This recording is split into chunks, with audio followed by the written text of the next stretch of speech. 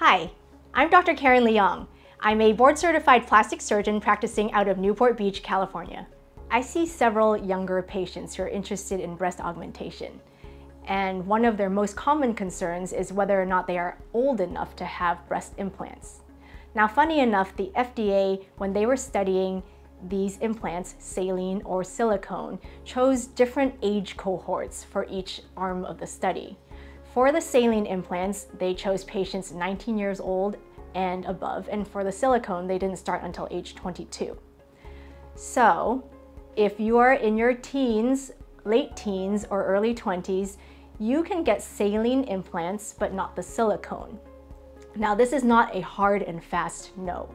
You can get silicone implants under the age of 22, but the problem is this voids your warranty.